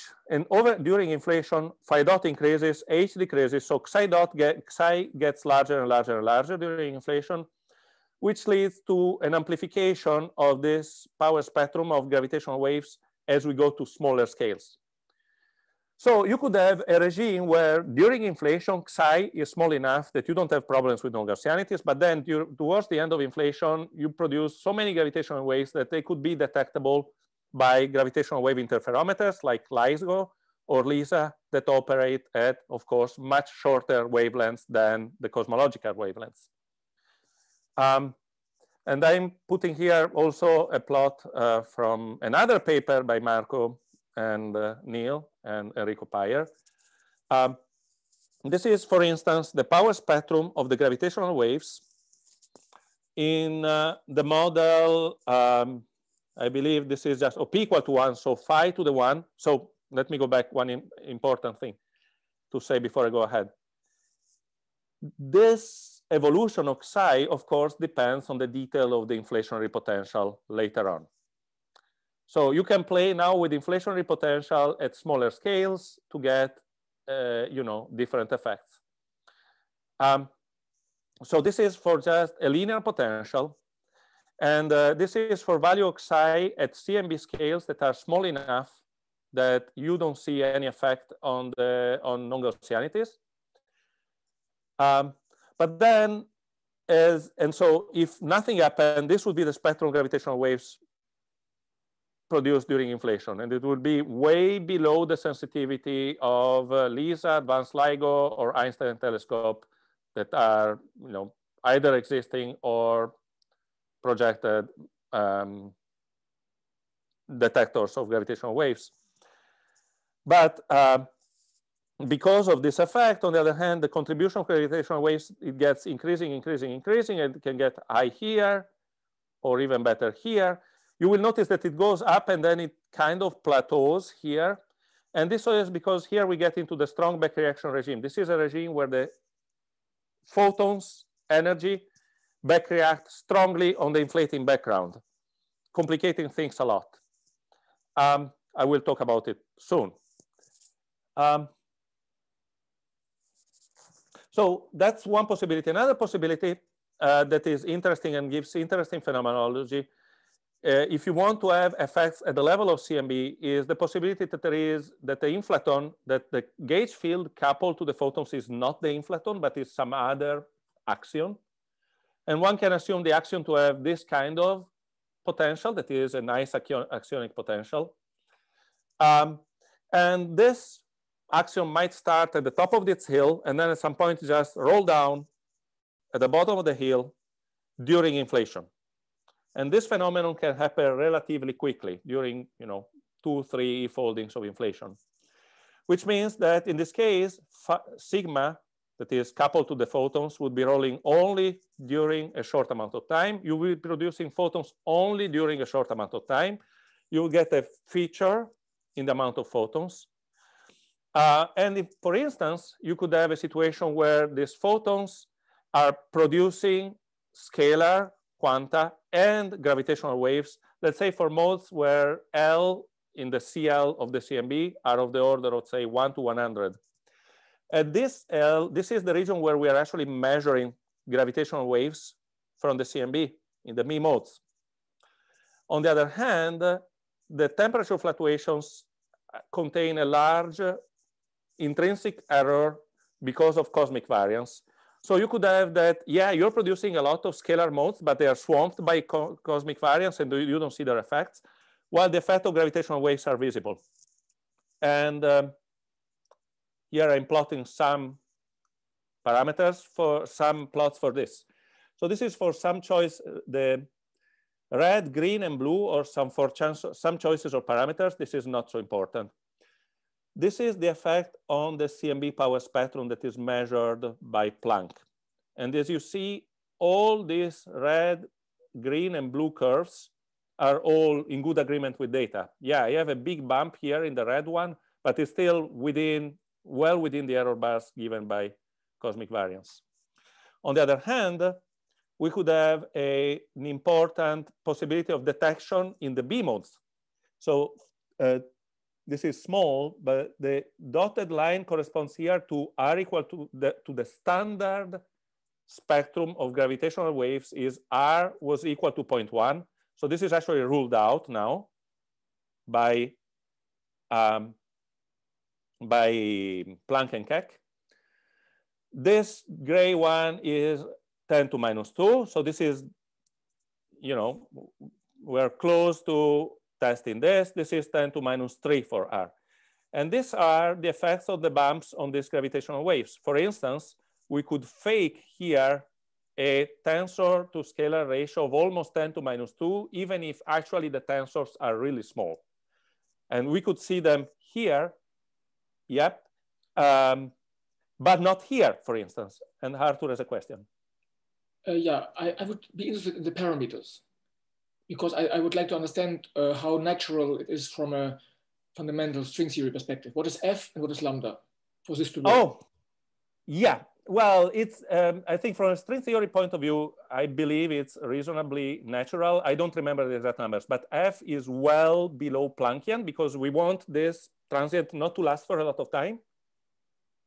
And lambda, the height of the potential has to be, you know, a fraction of the energy in the inflaton because you don't want to see the energy in this guy itself but it's not ridiculously smaller than this. So I, I now I don't remember the exact numbers, but I, I, could say, you know, lambda might be in the order of, I don't know, 10 to 13 GeV and F of the order of, you know, well, F, it's difficult to read F from these parameters, but uh, it's, uh, it's um,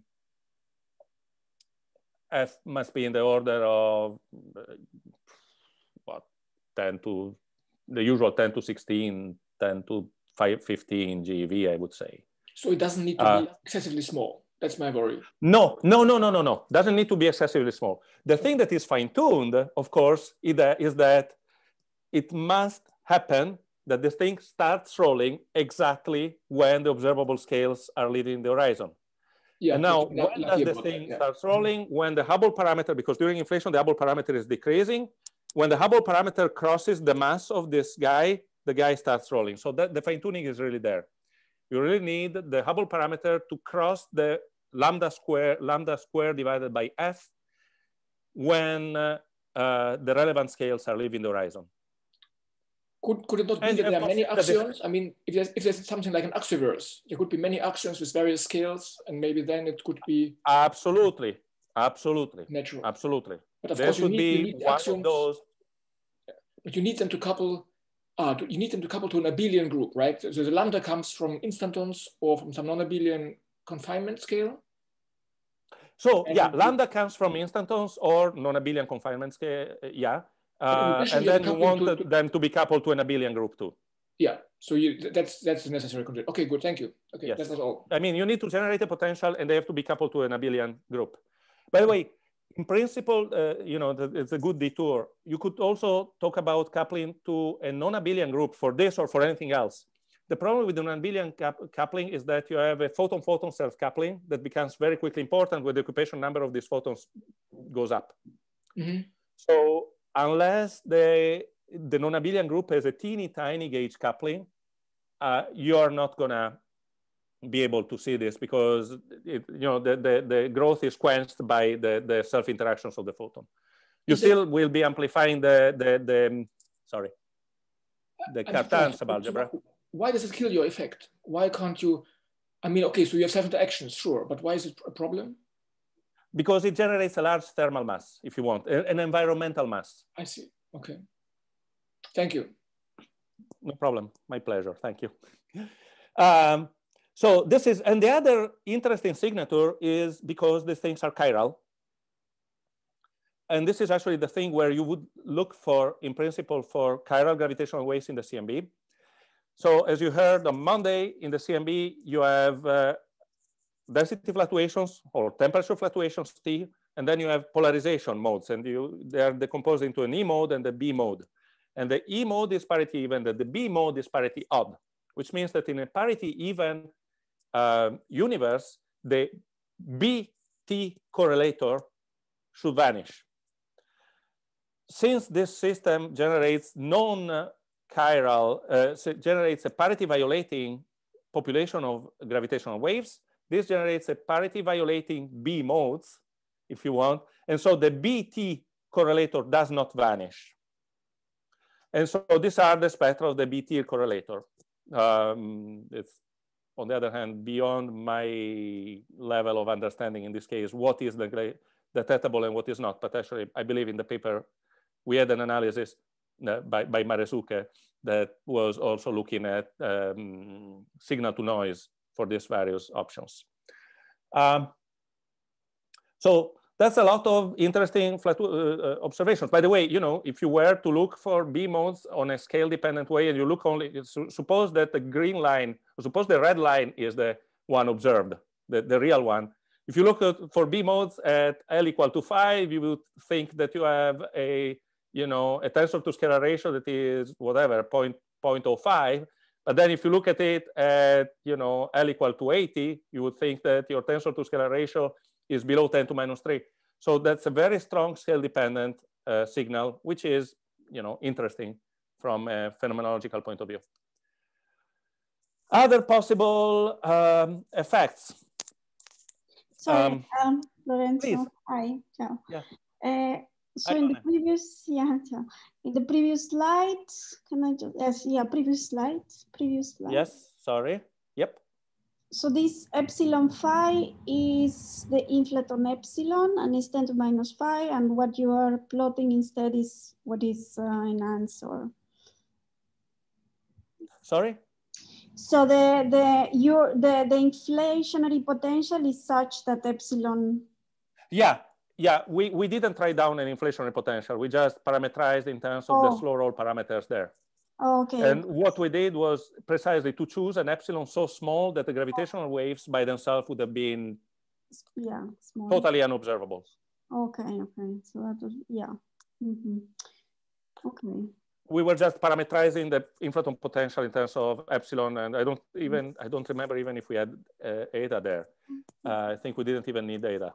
Yeah. Um, Mm -hmm. And and delta again, so you did not. Oh, delta is a parameter that controls. Oh. I, it's a dimensional parameter that controls, I ah. believe, the curvature of this potential around the top.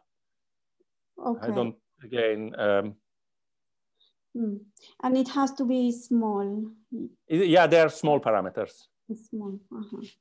Okay. Yep. Yeah. Thanks. the delta is the ratio between the axion mass and the Hubble mm-hmm. rate. And this needs to be so. tuned to be not much smaller than one. Ah. Because exactly. one over delta is the amount yes. of e-folds during which the pseudoscalar rose. Yeah. Thank you, Marco. Mm -hmm. Okay. Yeah, I also yep. vaguely remember because. yes. Okay, okay. Yeah. Yeah. Yeah, yeah, that's that's true. Okay. Other possible signatures. Um, and this is getting a little bit dirty now. Um, at, as I said, you can have a regime where at large scales, early times, this parameter psi is very relatively small and you don't see anything in the CMB. And then uh, as you go down, uh, as I said, you know, this parameter psi increases. And at some point you are having back reaction of the inflaton on the inflating background. I will talk about it later, hopefully. Um, um, but very quickly, you are going to have a generation of perturbations of the inflaton there, pretty much the same perturbations that you know were in uh, Barnaby and Peloso paper I was mentioning before, but at later times. Now, these perturbations can be really large. The problem is that computing the perturbations in this regime is also, you know, not easy because we are talking about a regime of strong back reaction. Um, so there are no number of estimates. Um, I believe the first paper was this one, uh, and this one was uh, more detailed in that respect, way more detailed in that respect.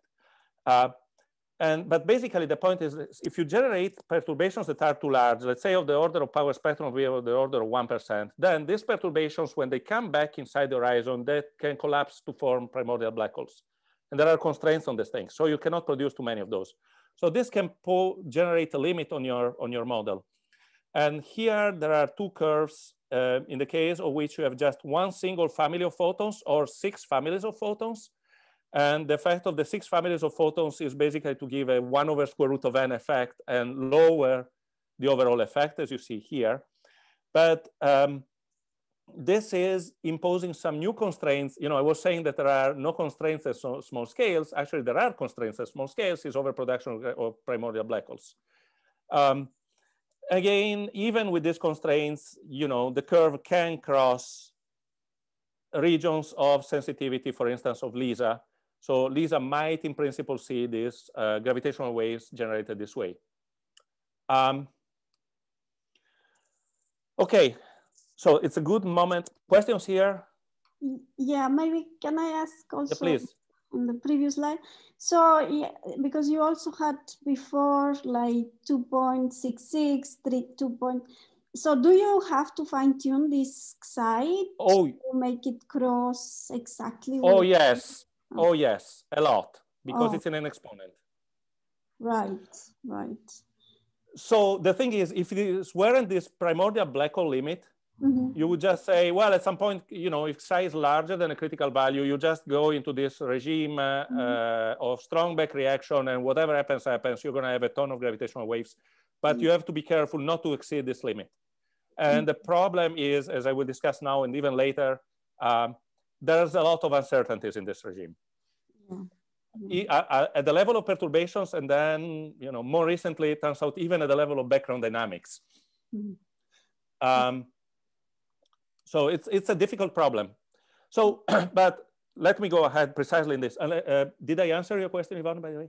Yeah, yeah, yeah thanks. Uh, so you. maybe just what were, what were the 20, 30 and these numbers? Oh, this is the number of e-foldings before the end of inflation. Ah, before the, ah, perfect. Okay, thanks. Yeah.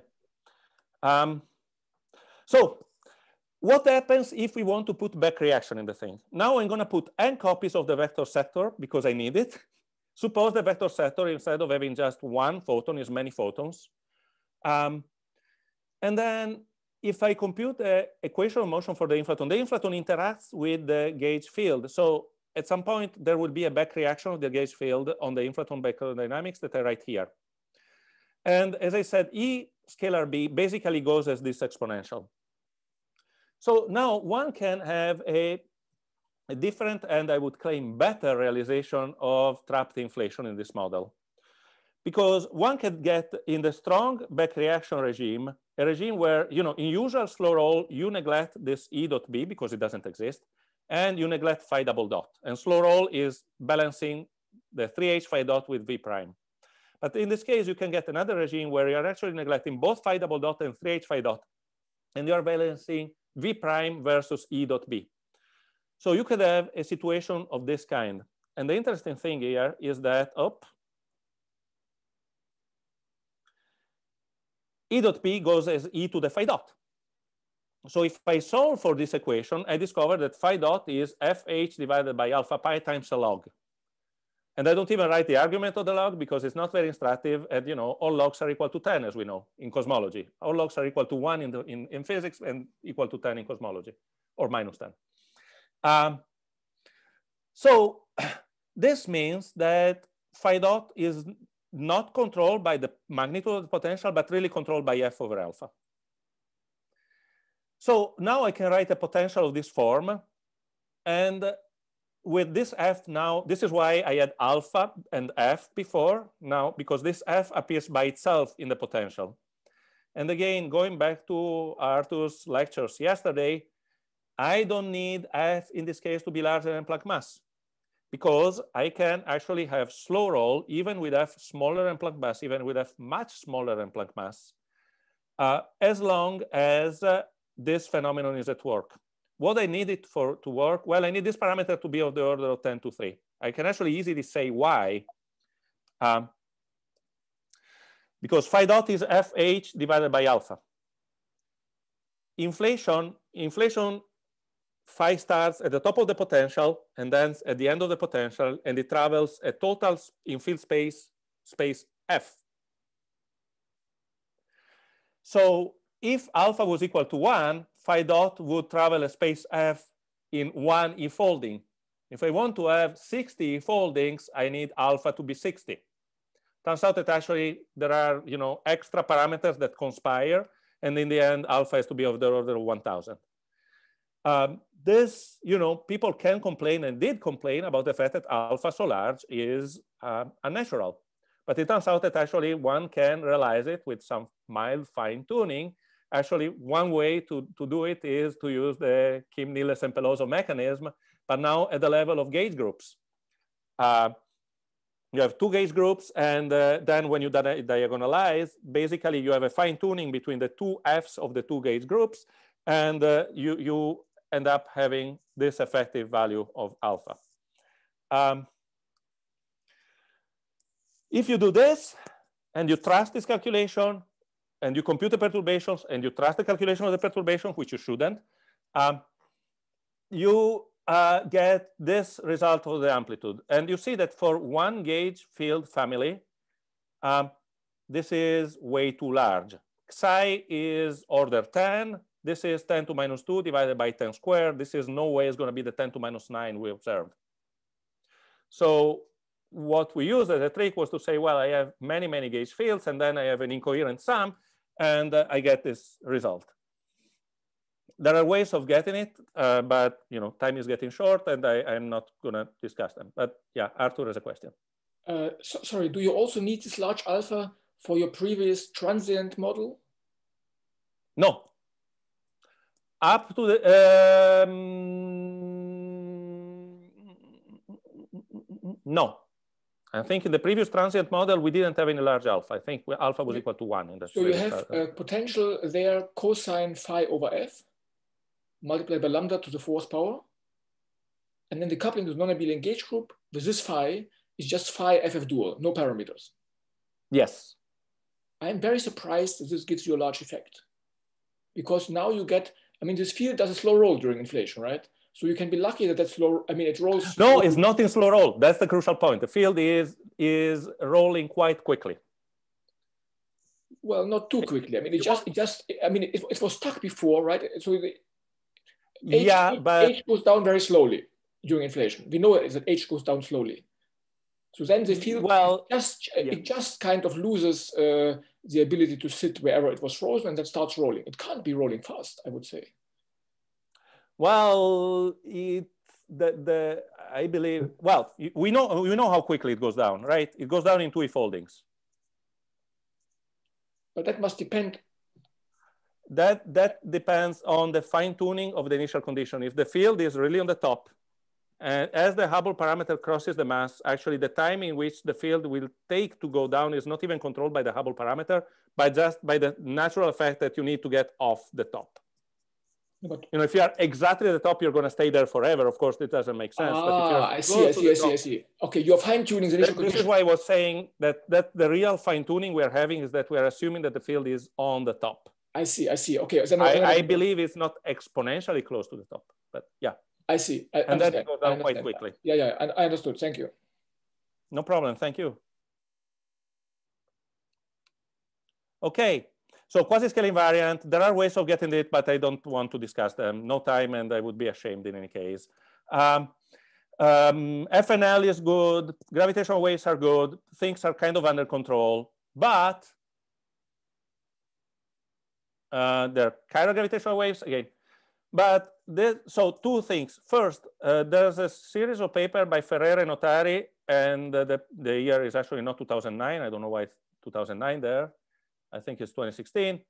Um, that consider the possibility of realizing actually warm inflation in this case by having the gauge fields interacting very quickly with each other and thermalizing quickly. Great.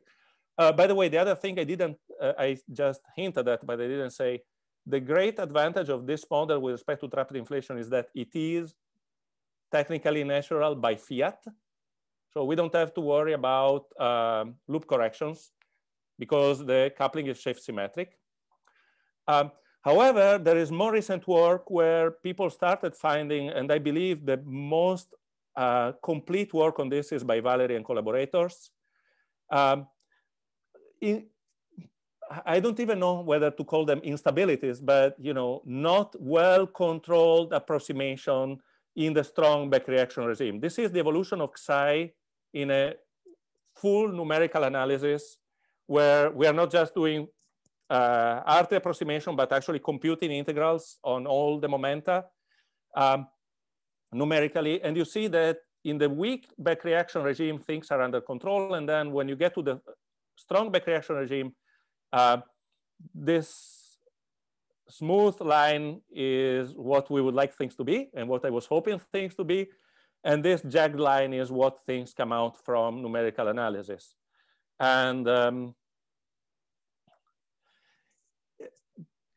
Lorenzo, it's, it's, open, open as far as I can tell. Yeah, I, I would call it instability, right? It, I mean, your solution is obtained on average, so in a sense, uh, it's not an instability that runs away.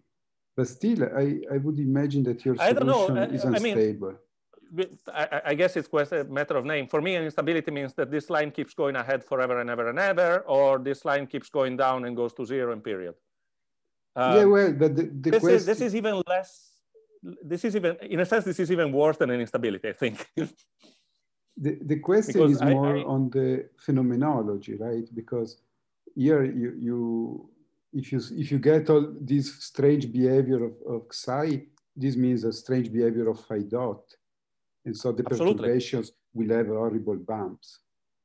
Absolutely, absolutely. This yeah, is this is uh, as I said. Uh, the the only thing is that, and you know, I have two good people in this audience to tell me.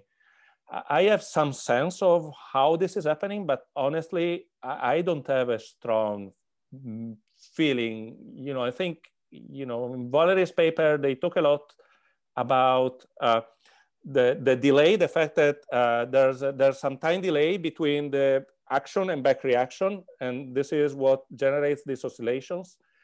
Um, but I, I don't have a sufficient strong feeling of what's going, you know, strong enough that I would be able to tell, for instance, how to fix it. Yeah, maybe I can say a sentence or so. Please. Um, I mean, I, I, I fully Many agree with, with, everything with everything that, that you said, right? So kind of, uh, I mean, and you, you're absolutely right, right? We, we, we kind of observe this in the numerics and then we kind of try a bit in hindsight to to explain it uh, somehow. And kind of the best explanation that we came up with is a kind of a, a resonance effect, um, mm-hmm. precisely uh, due to this time delay that, that you were talking about, right? Because kind of the, the gauge field builds up, that means the friction builds up, but then that means that the uh, the feed goes slower and everything goes down again. Um, mm-hmm. Because you kind of you're forming this average quantity, so you're kind of sensitive to the gauge field that you produced sometime in the past, right? So you're sensitive to the velocity sometime in the past, and if you have kind of exactly. the, the correct time difference or the correct phase shift, then that kind of leads to these resonances. But the resonances are imperfect, right? Because the entire system is still in motion. And hence they don't actually explode to infinity, but they they kind of lead to these lead to these spikes. Yeah. Yeah. So so these are I see. You're basically going through different resonant bands in a random way, and this is why you get this completely crazy behavior. Right. We're more or less going actually to the same resonant band again and again because we're mm-hmm. kind of you know acceleration deceleration acceleration yeah but then we spend different amounts of time in in the resonance band depending on kind of what yeah. the velocity with which we enter yeah. the resonance yeah. band um, yeah no I, I, agree that this is a, this is a problem and um, i don't know what to say uh, other than you know i that's one of the things i would like to look into because uh, it's it's interesting but I mean, it's an interesting system, right? The, uh, I, I, maybe I didn't stress it enough, but you know, from the model building top-down point of view, this is as natural as it can get. Um, other than that alpha, that even that is not necessary. So um, th this is where we are. You know, 2020, 2019. So it's it's work. I would say it's work in progress, but uh, it's true that it's it's a big problem. Um, okay. Yeah, sorry, can I can I ask? Please, ma'am. Because the question would be if there is a way to reduce the amplitude of these uh, bumps, which uh, mm -hmm. I. I, don't remember anymore. I mean, I was trying to study it and then uh, Valerie's paper appeared, but then I, I, I forgot too much. Uh, the question would be, because I don't think it's controllable, but maybe I'm wrong. Maybe there is a way. But Valerie, what's your feeling? Well, yeah, I mean, like when you were like, if you compute the scalar power spectrum, right, then then you get these bumps. But in in the peaks of these bumps, you're violating perturbation theory, right? So you simply cannot I mean, you get you get scalar perturbations of, of order one and beyond, right? So you clearly can no longer trust your computation. So I mm-hmm. could imagine that if you kind of take into account that there's maybe some some dampening effect, um, mm-hmm. which like if you take into account uh, higher order interactions somehow, right? Um, I mean, otherwise, of course, one one way out is simply to to no, reduce. But, uh, but let me ask you, sorry, yeah. a different question. In your paper, I remember you were able to understand analytically the separation between the bumps using the delay effect. Yeah. But my question is, what controls analytic, if, if there is an analytic understanding of what controls the height of these bumps? No, at least not not what not yeah, because, what we have, not accurately enough. No. Yeah, because that's my feeling that uh, we still haven't really fully grasped uh, everything, as Lorenzo is saying. Yeah, no, I fully, I fully concur with that. I don't know. I'm honestly, yeah, we were talking about that paper by Cole before. Uh, same applies for this. I really wish I had time to, to look at this. Uh, but you know, some questions that I have, if, for instance, does this change if I have many gauge fields instead of one?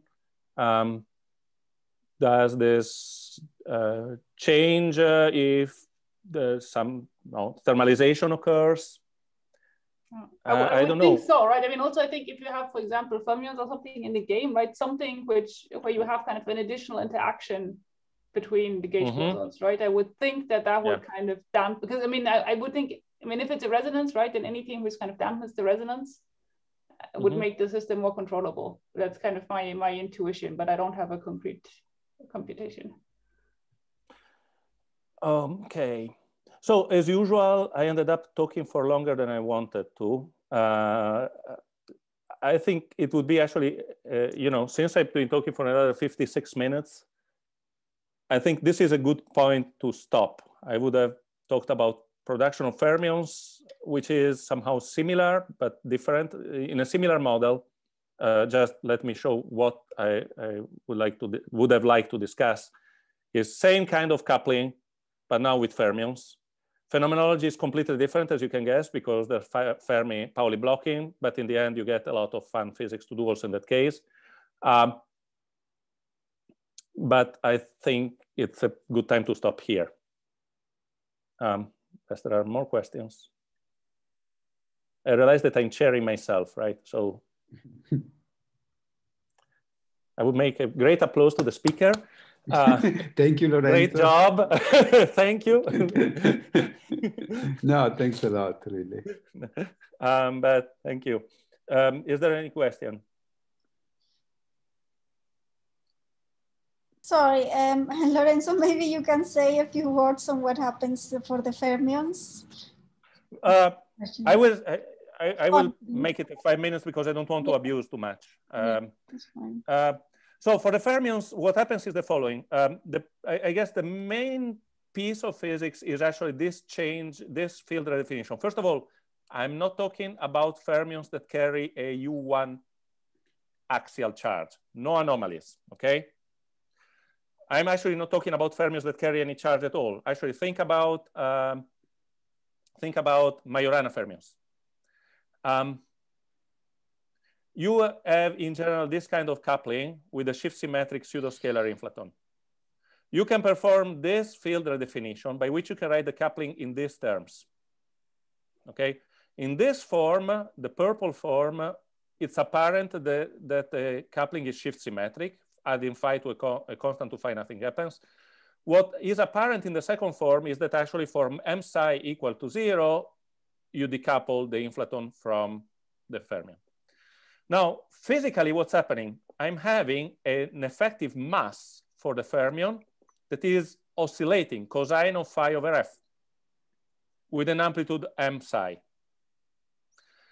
Since it is oscillating, if you want, I go back morally to the same situation we had at the beginning, you know, in the first hour of the inflaton oscillating at the bottom of the potential, bottom of the potential and amplifying vacuum fluctuations.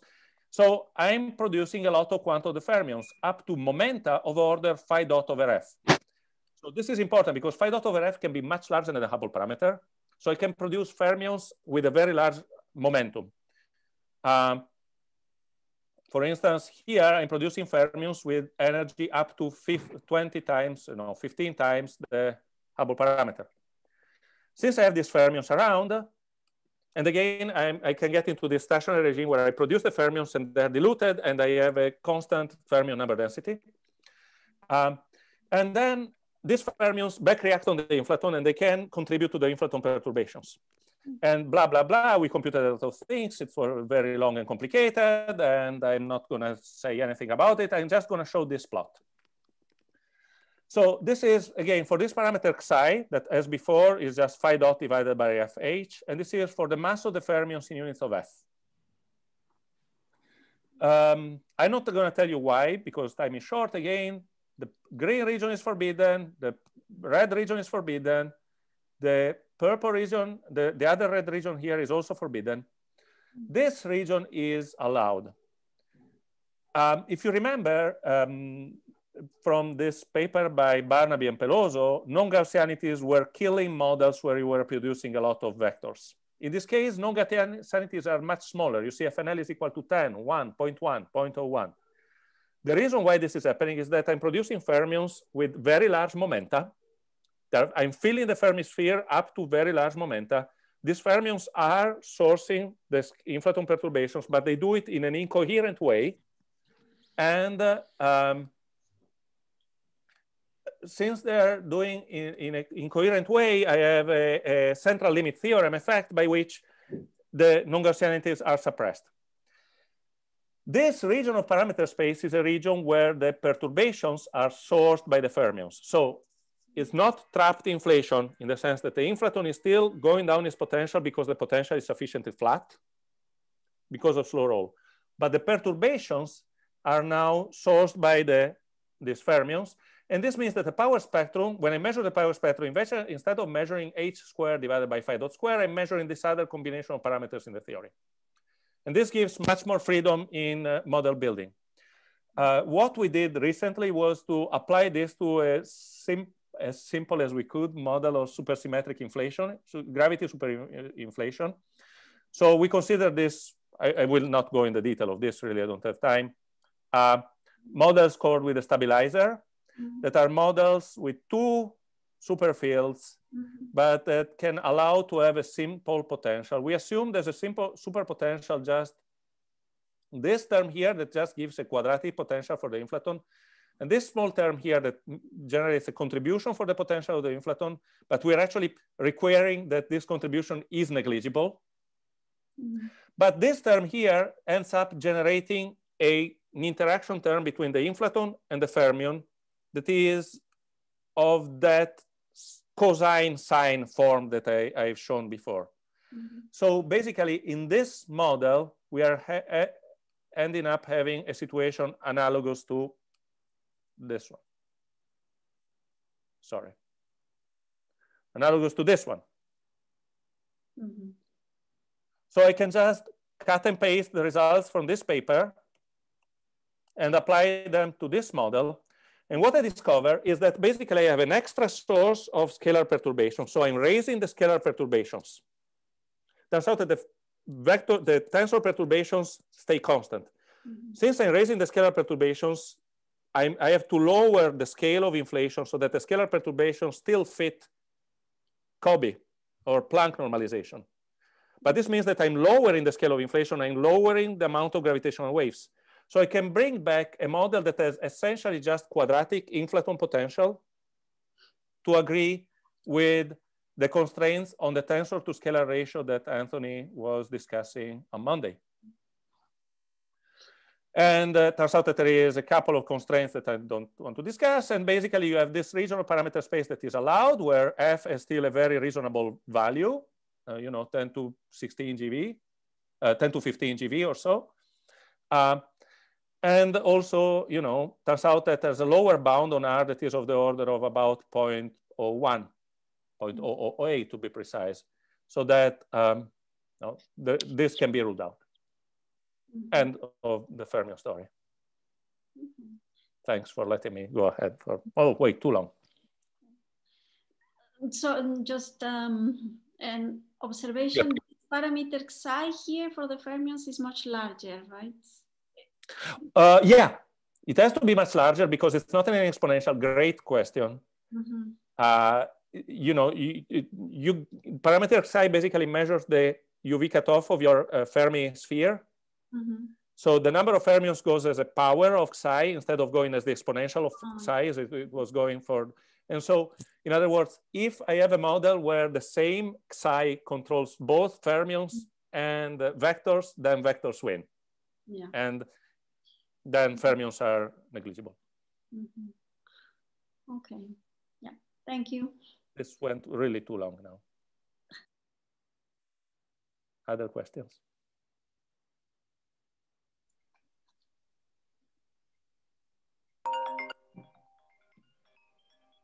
Mm. Comments? Complaints?